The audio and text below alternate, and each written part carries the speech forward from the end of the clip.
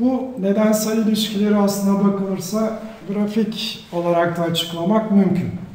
Örneğin stresle boşanma arasında pozitif bir ilişki olduğunu gösteren sol tarafta bağımsız değişken, sağ tarafta bağımlı değişken biçiminde bir e, grafik yaratabiliriz.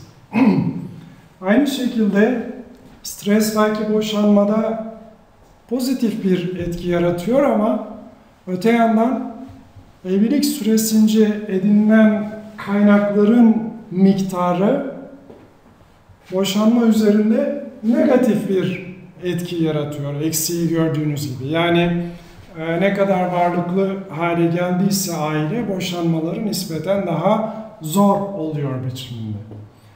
Ya da C şıkkında gördüğünüz gibi aslında doğrudan stres boşanmanın nedeni olmayabilir.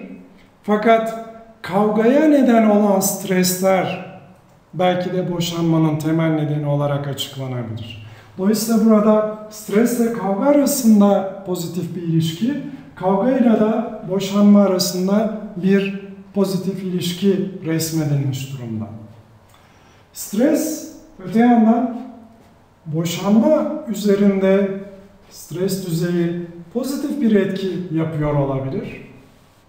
Ama e, stres e, çocukların uyum sağlaması vesaire arası, açısından bakıldığında negatif bir etki yapıyordur ve boşanmayla çocukların uyumu arasında da bir negatif ilişki söz konusu. Yani çiftler boşandığı zaman çocukların durumunun e, evli olduğundan e, daha kötü duruma düşmesini açıklayan bir e, diyagram söz konusu. Son diyagramda ise daha karmaşık bir model var. Burada B şıkkında sözünü ettiğimiz stres ve kaynaklar kavga üzerinde etkili oluyor. Yani daha çok stres, daha çok kavgaya neden oluyor ama öte yandan kaynak miktarı fazlaysa e, bu insanlar çatışmalarını kavga etmeden de çözebiliyorlar anlamına geliyor. Artı stres ve kaynaklar arasında da bir etkileşim, bir ilişki söz konusu. Yani eğer maddi kaynaklarınız daha fazlaysa daha stresli bir yaşam sürüyorsunuz anlamına. Sağ tarafta ise boşanma nedeni olarak bakıldığında kavga bir ara neden olarak kavga edilip edilmemesi boşanma üzerinde pozitif bir etki e, sağlıyor. E, iyi uyum sağlamış çocuklar üzerinde negatif bir etki sağlıyor. Yani e, kavga ettiğiniz zaman boşanma süreciniz hızlanıyor ama bu kavganızın e, çocuklar üzerinde negatif bir etkisi oluyor. Öte yandan boşanmayla çocukların uyumu arasında da gene kendi arasında bir etkileşim söz konusu. Gördüğünüz gibi bunları grafik olarak da bağımlı bağımsız değişkenleri, ara değişkenleri e, böyle bir e, şekilde göstermek mümkün. Korelasyon ve nedensellik üzerinde durmuştuk birkaç slide önce. Tabi her korelasyon nedensellik anlamına gelmiyor. Örneğin gözlem yapacak olsanız kişilerin ayakkabı numaralarıyla matematik yetenekleri arasında bir ilişki olduğunu görürsünüz. Yani ayak numarası yüksek olan e, kişiler matematikte daha becerili anlamında. Fakat burada her ne kadar ikisi arasında korelasyon görünüyorsa da ayakkabı numarası ile matematik yeteneği arasında aslına bakılırsa bir üçüncü neden var gerçek sebep-sonuç ilişkisini açıklayan o da yaş. Yani kişilerin yaşı büyüdükçe ayakkabı numarası da büyüyor.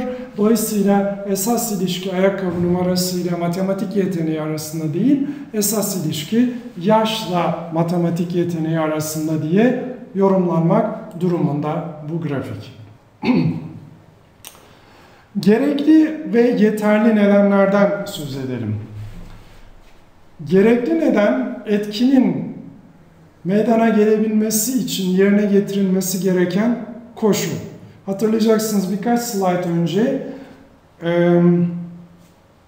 nedensel ilişkinin üç ölçüt olduğunu söylemiştik. Neden sonuçtan önce gelecek, iki değişken arasında korelasyon olacak ve bu korelasyon üçüncü bir değişkenle açıklanamayacak. Dolayısıyla da bu üçü olduğu zaman biz e, neden sonuç ilişkisi var diyoruz. O zaman nedenlere e, bu açıdan bakalım, bakacak olursak bu üç ölçütten herhangi birinin olması gerekli neden ama tek başına yeterli değil. Tıpkı bir önceki slaytta gördüğümüz gibi ayakkabı numarası ile matematik becerisi arasında bir korelasyon gözlememiz tek başına e, bu iki değişken arasında neden sonuç ilişkisi olduğu anlamına gelmiyor. Yeterli neden etkiyi hemen hemen garantileyen koşul. Biz nomotetik ilişkileri keşfetmeye çalışırken gerekli ve kesin, kesinlikle gerekli ve kesinlikle yeterli nedenleri her zaman keşfedemeyebiliriz. Olası muhtemel nedenlerden bir kısmını seçip acaba bunlar e, diğerleri arasında bu ilişkiyi daha mı iyi açıklıyor bunu görmeye çalışıyoruz. Bakın gerekli ve yeterli nedenleri nasıl açıklayabiliriz burada?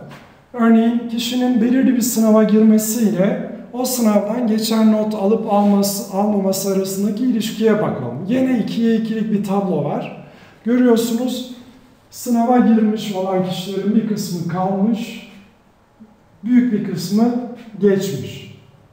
Öte yandan sınava girmeyen kişiler kalmış, zaten geçmeleri mümkün değil. Dolayısıyla bu ikiye ikilik tablodan çıkarılacak sonuç bir dersten başarılı olabilmek için sınava girmek gerekli ama yeterli neden değil. Sınavdan geçmek için ise hem sınava girmek gerekiyor hem de geçen not almak gerekiyor.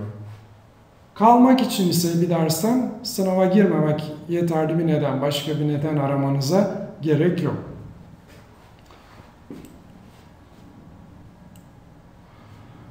O zaman nedensel hipotezleri toparlayacak olursak bir defa en az iki değişken var. Bağımlı ve bağımsız değişken olmak üzere. Değişkenler arasında nedensel ilişki veya neden-sonuç ilişkisi kurulmuş durumda. Bir kestirim, tahmin ya da gelecekte beklenen bir sonuç olarak ifade etmemiz lazım bu o, tahmini mantıksal olarak bir araştırma sorusuna ve bir kurama bağlamamız, o kuramla ilişkilendirmemiz lazım. Ve bu neden-sonuç ilişkisinin yanlışlanabilir. Yani ampirik veriler toplayarak, gözlemler yaparak doğrulanabilir ya da yanlışlanabilir olduğunu göstermemiz lazım. Nedensel ilişkileri ifade etme biçimleri kuşkusuz özellikle kavramlar soyutlaştıkça daha da zorlaşıyor. Örneğin burada neden-sonuç ilişkisi belirten dini törenlerle boşanma arasındaki e, ilişkileri belirten ifadeler görüyorsunuz. Dini törenlere katılma boşanma oranlarında düşüşe neden olur ya da dini törenlere katılma oranı ne kadar yüksekse boşanma ihtimali aynı derecede düşüktür. Dini törenlere katılma boşanma oranlarındaki düşüşle ilişkilendirilir.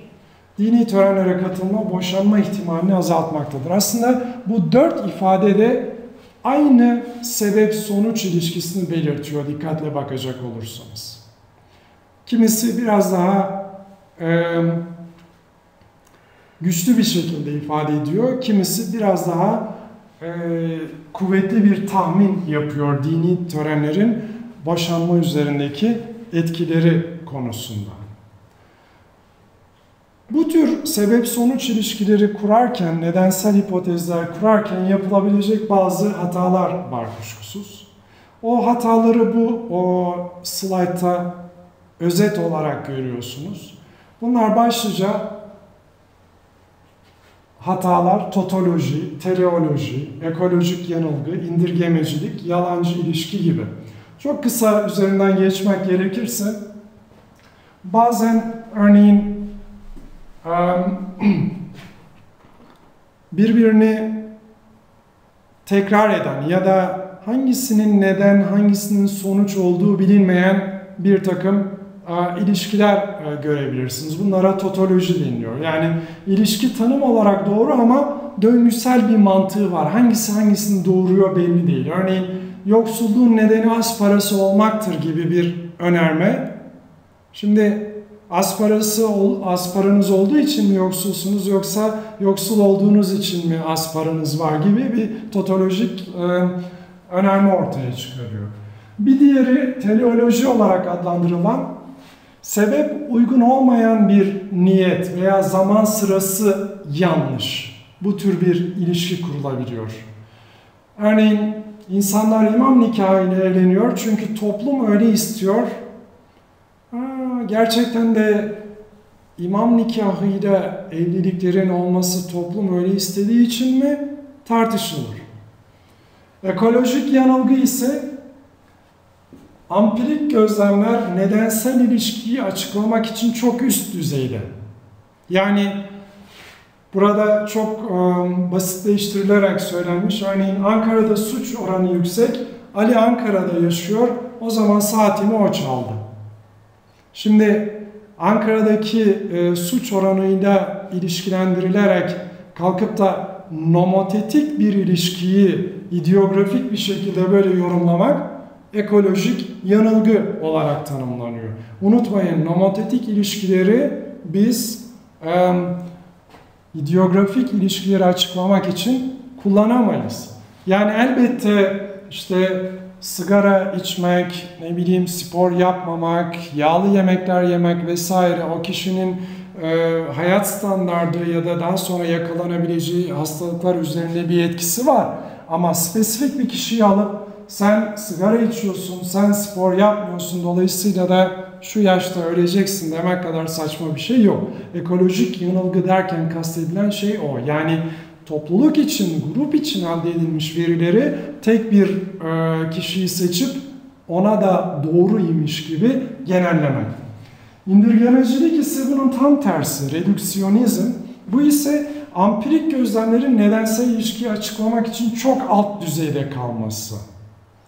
Örneğin yine burada çok basitleştirilerek Ali işsiz kaldığı ve yeni araba alamadığı için ülke ekonomisi durgunlaştı demek yetersiz çok alt düzeyde bir ilişkiyi açıklıyor.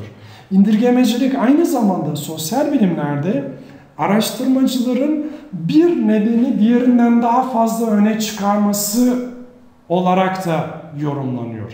Örneğin Osmanlı İmparatorluğu'nun yıkılışının nedenleri nelerdir dediğiniz zaman Birçok neden sayabilirsiniz kuşkusuz. Uluslararası konjonktürden tutun da Osmanlı maliyesinin durumuna kadar işte e, o, o dönemdeki ulusal, e, ulus devlet kurma anlayışlarının e, e, artışına kadar o dönemdeki silahlı çatışmaların e, düzeyine kadar vesaire.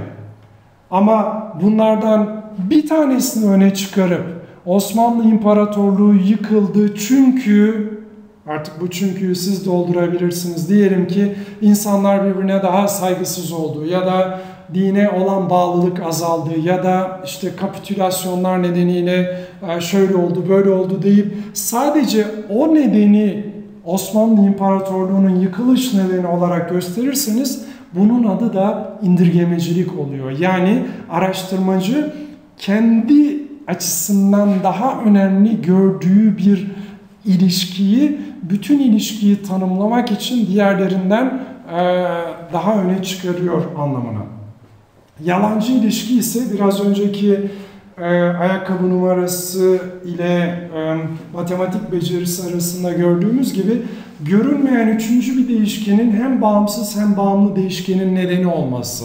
Yani yaş değişkeni burada hem e, kişinin ayakkabısının numarasının büyümesinin nedeni hem de aynı zamanda e, geliştikçe kişinin matematik becerilerinin de gelişmesinin nedeni. Aynı şekilde burada verilen örnekte de olduğu gibi saç uzunluğunun TV programları ile ilişkisi işte kısa saçlar, futbol uzun saçları, aşk hikayeleri e, izlemeyi tercih ediyorlar demek aslında doğru ifade etmek değil. Aslında burada saçla program türü arasında değil, cinsiyetle program türü arasında e, bir ilişki var anlamına yorumlanmalı. Bir takım akıl yürütme hatalarını da burada gündeme getirmekte yarar var. Bunlar daha çok araştırmacı açısından önemli. Bu akıl yürütme hataları araştırmacının kendisini koruması gereken hatalar aslına bakılırsa. Bunlardan birincisi kişisel ve kültürel olarak ön yargılı olmak. Hatırlayacaksınız daha önceki derslerimizde ön yargı, taraflılık e, yapılacak hatalara e, neden olur demiştik. Dolayısıyla kişinin belirli bir konuda görüş sahibi olması, örneğin Osmanlı İmparatorluğu'nun yıkılma nedeni temelde işte din duygularının azalması dediğiniz anda e, orada diğer nedenleri doğru olsalar bile bastırma, onları daha önemsiz gösterme için e, bir bakıma bir ortam yaratmış oluyorsunuz. Çünkü o bakış açısıyla yorumlarsanız belki evet onun da neden, e, etkisi olmuş olabilir ama o etkiyi diğerlerinden daha öne çıkarmış olabilirsiniz. Araştırmacı akıl yürütürken sonuca varmada aceleci davranabilir. Yani şüphe e, duymayıp ha tamam bu sonucu buldum demek açısından. Örneğin çok saçma gibi gelebilir ama ayakkabı numarasıyla işte matematik becerisi arasında ilişkiyi gör, görür görmez evet ya ben bunu niye düşünemedim böyle bir ilişki var demek yerine dur bakalım acaba başka bir nedeni olabilir mi matematik becerisinin diye diğer öngörülmeyen nedenleri de düşünmek zorunda. Kuşkulu neden yani evet bir neden ortaya çıkmış durumda ama bu herkesin kabul edebileceği bir neden gibi gözükmüyor. Acaba ben bundan bir kuşku duyayım mı? Yani işte ne bileyim çocuk suçluğu ile ilgili olarak olay sadece diyelim ki eğitimle mi ilgili, başka şeyler de olabilir mi? Ya da olay sadece yaşla mı ilgili gibi konuları göz önüne bulundurmamız lazım. Bastırılmış kanıtlar. Burada daha sonraki haftalarda belki daha sonraki derslerde belki göreceğiz ama araştırmacı belirli konudaki e, bulguları nedense üstünü örtmek yoluna gidebilir. Örneğin diyelim ki seçim anketi yapıyorsunuz. İşte e, kararsızların oyları belirlenmiş durumda. Ama siz kararsızların oylarını rapor etmek yerine onları çıkarıyorsunuz. Bastırılmış neden derken ya da belirli türde toplanmış veriler ya bunlar nasıl olsa bununla ilişkili değildir diye rapor etme yoluna gitmiyorsunuz. Aynı şekilde yanlış ikilem de e, bunlardan e, bir tanesi akıl yürütme hatalarından. Yani siz iki farklı değişken arasında ilişki kurarken daha önce sözünü ettiğimiz ilişkiler çerçevesinde aslında esas nedenle değil de başka bir şeyle e, ilişki kuruyorsunuz anlamına. Bu derste nedensellik üzerinde durduk. Sebep-sonuç ilişkisi kurma üzerinde durduk. Bu o, nedensel ilişkiyi nasıl saptayabiliriz ve grafik üzerinde gösterebiliriz bu konuyu özetledik. Sosyal bilimlerde neden-sonuç ilişkisi kurarken nomotetik nedenleri ortaya çıkarmanın daha önemli olduğunu ama bu nomotetik nedenleri kişisel olarak yani tek tek kişiler üzerinde mutlaka geçerli sonuçlar doğuracağı biçimde yorumlamamak gerektiğini gördük.